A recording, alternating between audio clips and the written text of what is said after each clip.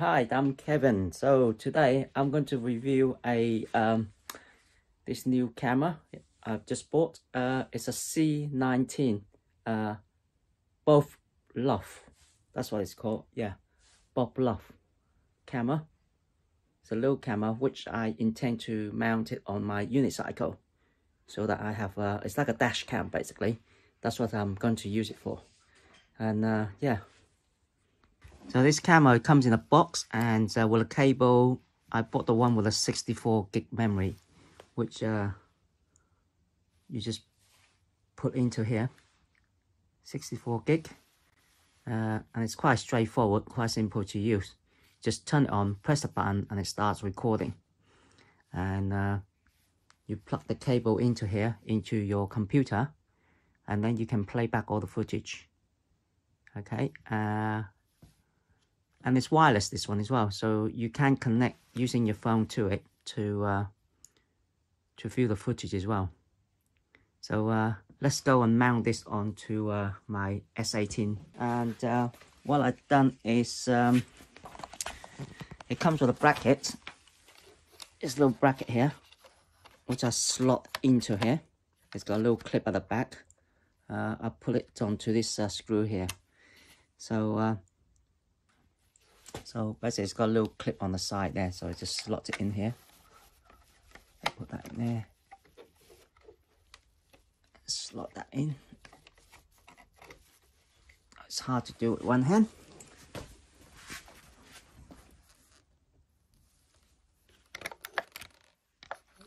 That. That's it. So this is my uh, dash cam on the S18. Now the camera is mounted on the uh, my S18, so I'm going to go for a ride and take some footage. I'll probably just go right down to uh, Greenwich to and then come back and uh, and see what the um, the footage is is like. So enjoy the video.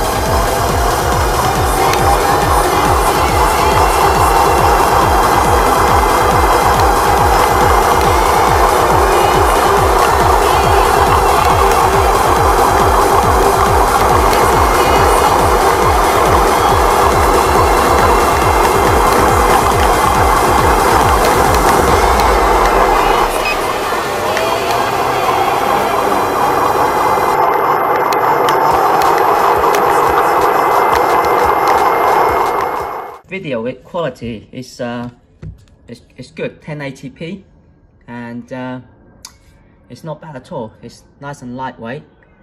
Uh, yeah. Yeah it's only a budget camera which is a body cam designed to be a body cam but uh, yeah I think I'm happy with this. I hope you enjoy the video. Bye bye for now